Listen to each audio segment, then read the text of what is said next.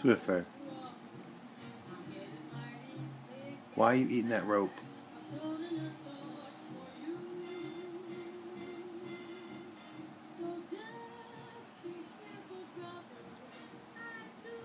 It's okay.